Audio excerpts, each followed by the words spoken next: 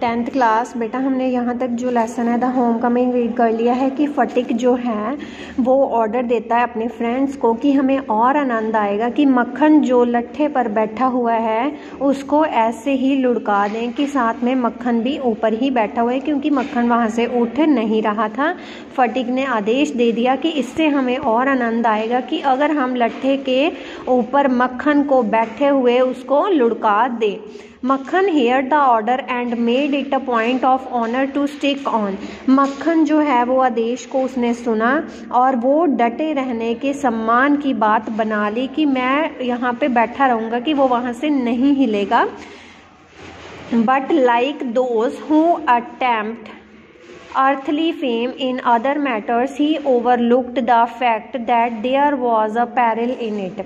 परंतु उन लोगों की तरह जो अन्य विषयों में भौतिक ख्याति प्राप्त करने का यत्न करते हैं और उसने इस तथ्य की अनदेखी कर दी कि ऐसा करने में खतरा था कि ऐसा करने में जो खतरा था कि अगर वो वहाँ पर बैठा रहेगा, उसको लुढ़का देंगे तो उसको चोट तो आएगी और उसने इस बात को अनदेखा कर दिया।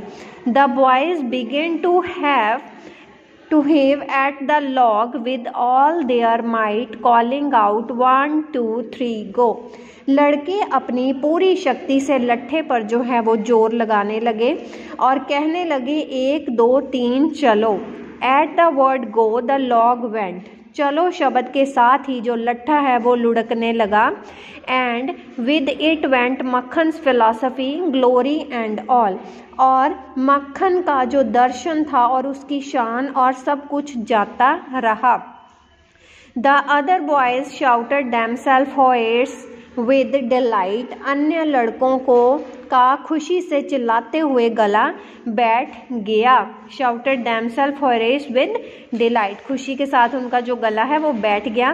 But Phatik was a little frighten जो फटिक था वो थोड़ा सा डर गया। He knew what was coming वो जानता था कि अब क्या होने वाला था। And he was not mistaken और वह किसी गलती में For Makhan rose from mother's earth, blind as fate and screaming like the furies.